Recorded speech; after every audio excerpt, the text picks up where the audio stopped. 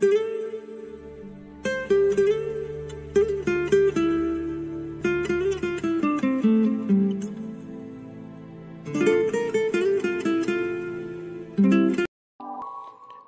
brothers and sisters in Christ Jesus, today, 1st of June 2020, we celebrate the memorial of the Blessed Virgin Mary as the Mother of the Church.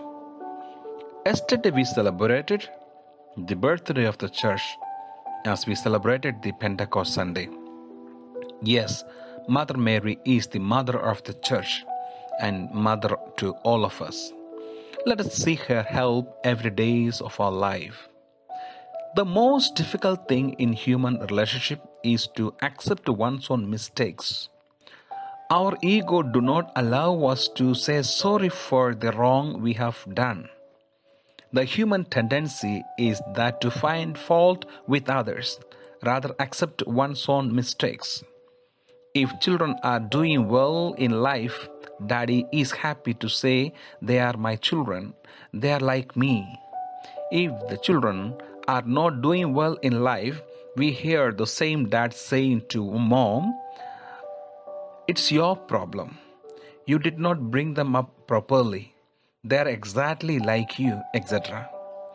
If the students are doing well in their exam, parents will say, Our children are brilliant, not because of the school they scored such high ranks. If the children are poor, parents will say the teachers and the school they are not good. Even you will hear the school authorities saying your child does not have enough IQ to study in our school. Yes, pointing finger to each other is the game of life. The best story for this attitude we can read in the Bible the story of Adam and Eve, the first man and woman, whom God created. God asked man to eat the fruits of all other trees in the garden except the tree of life. Man kept away from approaching the tree of life.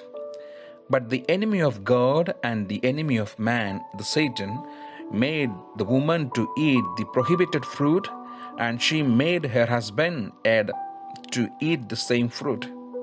Yes, disobedience to God's will is sin.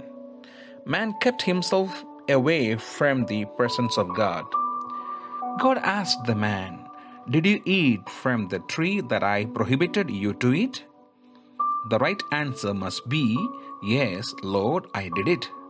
But he preferred to put the blame on his wife, as he said, The woman whom you put here with me, she gave me fruit from the tree, and so I ate it. God asked the woman, Why did you do such a thing? The woman answered, The serpent tricked me into it, so I ate it. This is the very human nature. Try to find fault with the other and stand out of one's own responsibility. In the New Testament, we see a woman whom we can call the new Eve, that is Mother Mary, taking upon her all the pains and sufferings of life.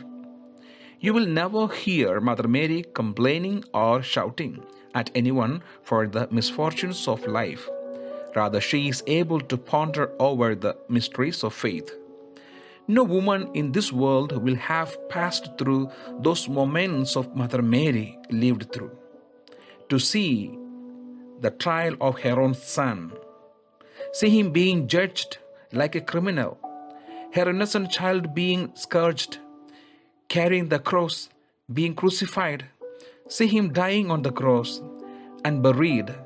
Yes, most painful moments in the life of any mother.